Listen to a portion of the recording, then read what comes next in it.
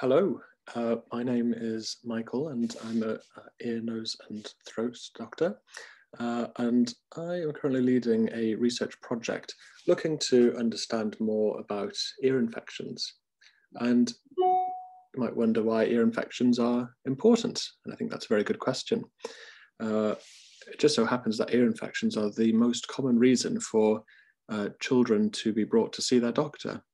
Uh, it's also the most common reason for children to receive a prescription of antibiotics uh, and a very common reason for children to undergo surgery. So it's actually a very big uh, clinical problem, um, but treatments haven't changed for about 50 years. Um, and so we think it's really important to try and find out more uh, about the science underlying why some people get these infections uh, again and again, and sometimes end up getting long-term problems with their ears.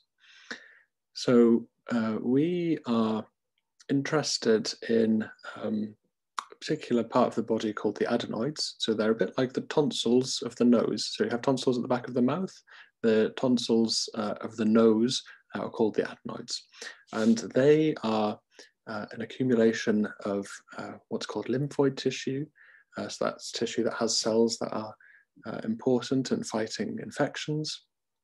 And we know from surgical trials that removing the adenoid tissue actually reduces the frequency of ear infections in some cases, but it's not known why.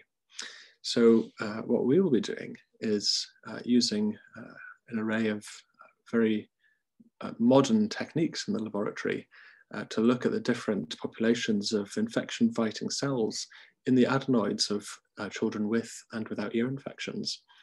And by understanding the differences in those two groups, we can hopefully target pathways um, with medicines uh, to try and reduce uh, the uh, number of ear infections that patients are getting.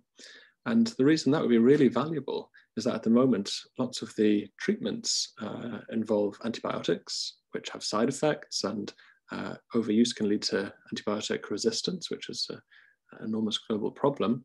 And then the other treatments are surgical, which uh, very often involve a general anesthetic. Um, and really having some sort of medicine instead of those treatments uh, would be very welcome. And uh, the first step to getting there is understanding those immune cells that are present in those with and without ear infections. Um, and that's our area of interest. And uh, please let us know if you have any questions. Thank you very much.